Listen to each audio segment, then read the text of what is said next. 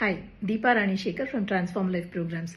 Love, light, and gratitude. Wish you all a very, very happy Ugadi. Ugadi means new beginnings.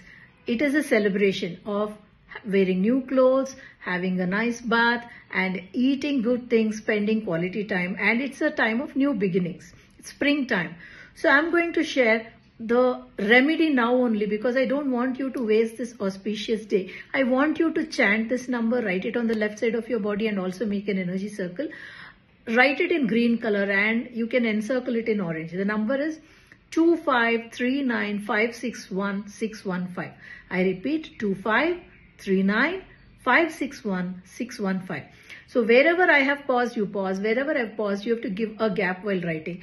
Write it. Wish you great beginnings happy beginnings and a great time. Once again, wish you all a very, very happy Ugadi. Thank you so much for joining me, Deepa Rani Shekar from Transform Life Programs.